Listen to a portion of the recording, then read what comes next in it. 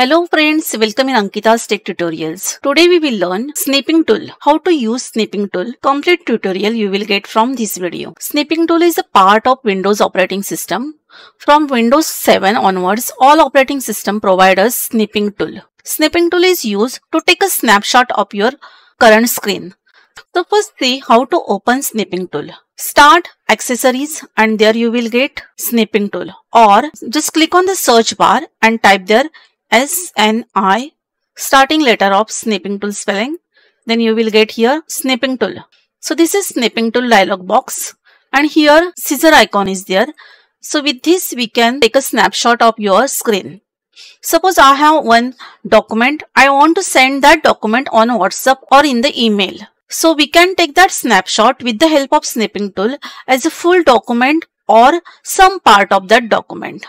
For this, we have screenshot option also. But when we are taking screenshot, that time full screen photo is coming there. But we required only some part of the screen. So this is easy with the help of snipping tool. I have here one document and I want to take snapshot of this. So keep ready your document and then open snipping tool. And now click on new button. And now I will take a snap of this file.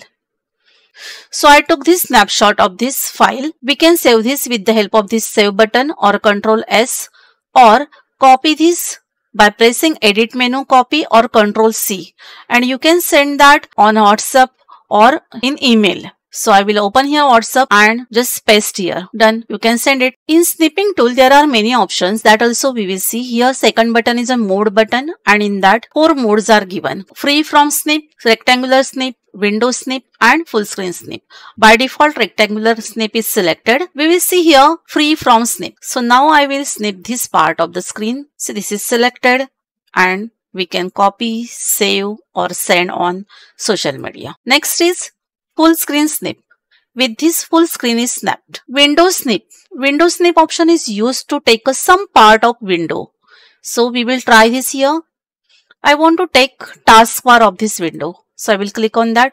See here, this snap has been took. So like this we can use snipping tool in Windows. If you are using this snipping tool on regular basis, then you can take this as a pin to taskbar. This will display on the taskbar and this is easy to use regularly. That's all for today's video. Hope you understand this.